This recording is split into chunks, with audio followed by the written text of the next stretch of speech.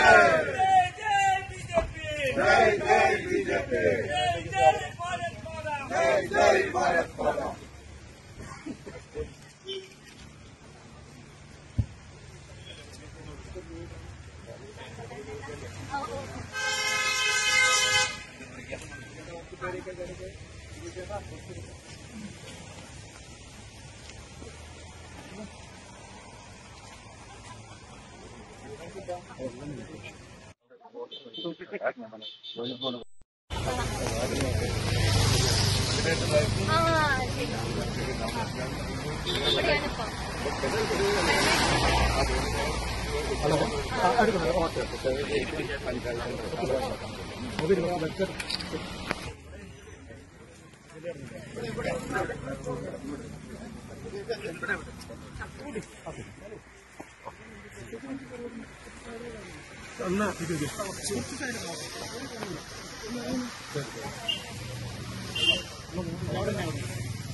കുട്ടികൾ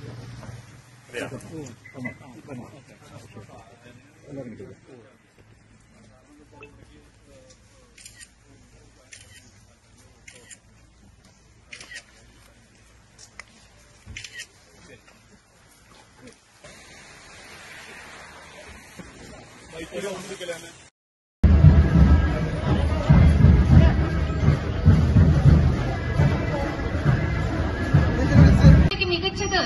എന്നുള്ള തോന്നലിന്റെ അടിസ്ഥാനത്തിൽ